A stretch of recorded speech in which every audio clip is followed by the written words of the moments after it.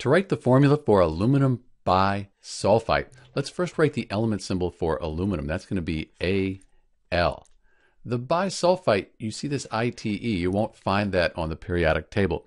You need to either have memorized that the bisulfite ion is HSO3 minus, or if you're allowed, look it up on a table of polyatomic ions. This is also called the hydrogen sulfite ion, and it's HSO3 minus and the minus charge, that goes to the whole ion. So we have aluminum and our bisulfite ion. Aluminum, that's in group 13, sometimes called 3A on the periodic table. That has a 3 plus ionic charge. And this is a neutral compound. It doesn't say ion after it. So these charges here, this 3 plus and this 1 minus, they need to add up to 0, give us a net charge of 0. We can do that by putting this 3. If we had 3 of these bisulfite ions here, let's put a 3 there, 3 times the 1 minus, that would balance out the 3 plus. Net charge would be 0. We'd also need to put parentheses, though, around the ion here to show that we have three of them.